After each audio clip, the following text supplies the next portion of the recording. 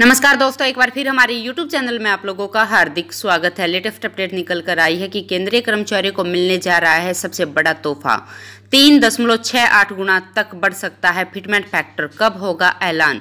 तो दोस्तों, fitment factor का ऐलान सरकार कब कर सकती है, उसके बारे में हम आपको सब डिटेल में बताएँगे। अगर आप हमारे चैनल पर फ़र्स्ट टाइम विज़िट कर रहे हैं तो चैनल को लाइक कर दीजिए, सब्सक्राइब कर दीजिए, साथ ही साथ वाला आइकन को भी बजा दीजिए, ताकि गवर्नमेंट या पेंशन से संबंधित जितनी भी न्यूज़ आती है, उनकी नोटिफिकेशन आप लोगों के पास तुरंत पहुँच के। तो करते हैं वीडियो को स्टार्ट बिना किसी देरी के।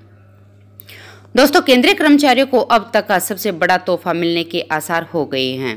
महँगाई भत्ता H R A T A promotion के बाद फिटमेंट फैक्टर के मोर्चे पर खुशखबरी मिल सकती है। उनकी सीधे तौर पर आठ हज़ार रुपये का की सैलरी में इजाफा हो सकता है। यह आठ हज़ार रुपये का इजाफा उनकी बेसिक सैलरी पर होगा। मतलब फिटमेंट फैक्टर उनका तीन दशमलव छः आठ गुना हो सकता है।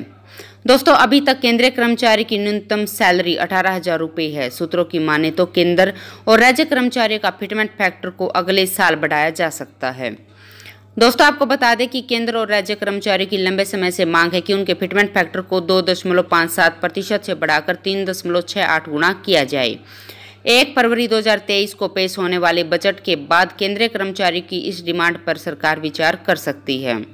केंद्रीय कर्मचारी के फिटमेंट फैक्टर बढ़ाने की मांग को लेकर कैबिनेट सचिव को लेटर लिखा है। यूनियन चाहती है कि नए वेतन आयोग की सिफारिश लागू होने से पहले फिटमेंट फैक्टर को बढ़ाया जाए, जिससे कर्मचारियों को काफ़ी सपोर्ट मिल सकता है।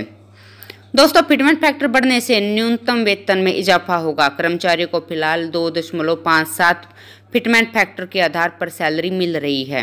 इसे बढ़ाकर तीन दशमलव छः आठ गुना करने की मांग है, जिस पर सरकार विचार कर सकती है। अगर ऐसा होता है तो कर्मचारी की न्यूनतम सैलरी में आठ हज़ार रुपये का इजाफा होगा।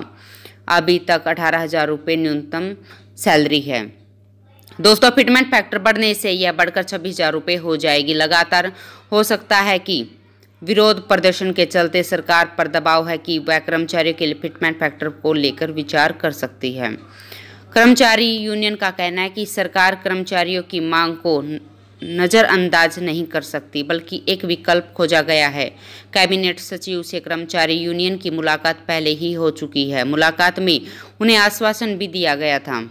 सूत्रों की माने तो सरकार फिटमेंट फैक्टर की फ़ाइल को आगे बढ़ा सकती है। बजट 2023 के बाद इस पर विचार करके कर्मचारियों को खुशखबरी सरकार जल्दी ही दे सकती है। तो दोस्तों, आज के लिए इतना ही। मिलते हैं नेक्स्ट वीडियो में। तब तक के लिए जय हिंद, जय भारत।